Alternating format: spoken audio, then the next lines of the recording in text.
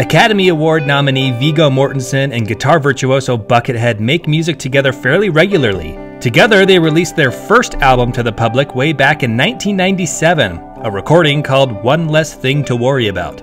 Since then, they've both hit major streaks of fame, yet still have found time to record and release close to a dozen more albums together. Viggo first heard of Buckethead after working on a Bill Laswell project with Dove Audio called Myth. Dreams of the World, a poetic album where each track is dedicated to one of the ancient Greek gods and goddesses. Viggo was asked to submit a recording of himself reading poetry about Poseidon and Amphitrite, while Buckethead was asked to submit the background music for that track.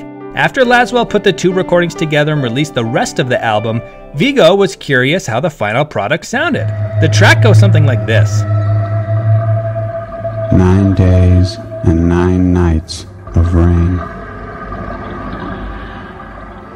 All those horses, all that crying, you would rather go for a swim.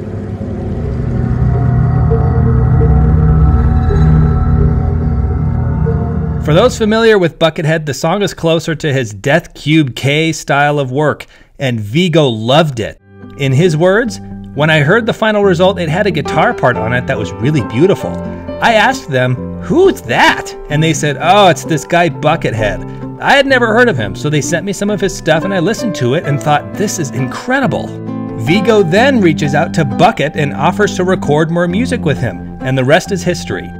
Viggo has since spoken about his work with Buckethead on several occasions, saying in one interview that, I don't think he ever messes up. He's so amazing. He's great. I'm so glad that in my life I've gotten to know him a little and work with him. He's one of the most original, genuine, most sincere, and most gifted individuals I've met in my life. He's incredible. Viggo appeared in an Argentinian radio interview called Carne Cruda, talking about the film Falling. Viggo Mortensen directed, starred in, and provided the music for the film with some help from Buckethead.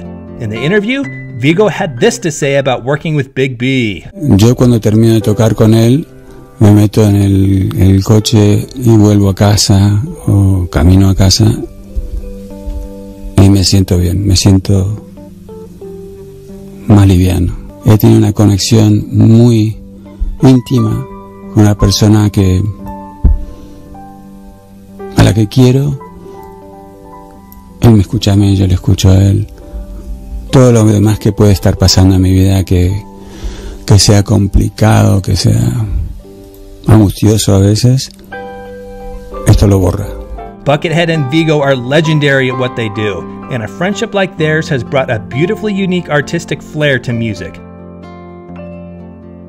These are some of my favorite works they've produced together, and links to purchasing or listening to each of them can be found in the description below. What are some more of your Viggo and Buckethead favorites? Leave your thoughts in the comment section below.